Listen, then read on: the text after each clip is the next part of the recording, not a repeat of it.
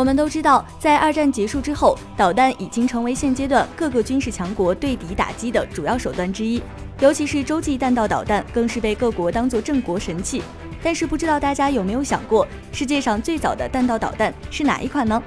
世界上最早使用于实战的弹道导弹是德国在二战期间所研制的 V 二导弹。这款导弹是德国著名的火箭专家冯布劳恩带领一众科学家于1944年所研制出来。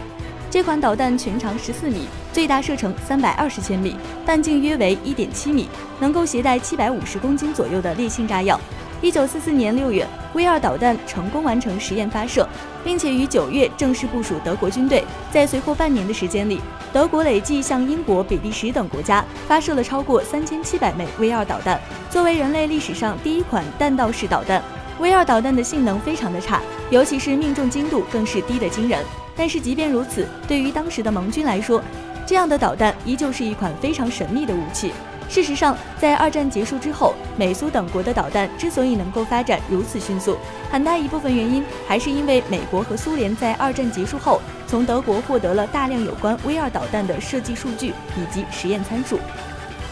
本期节目就到这儿了，我们下期见。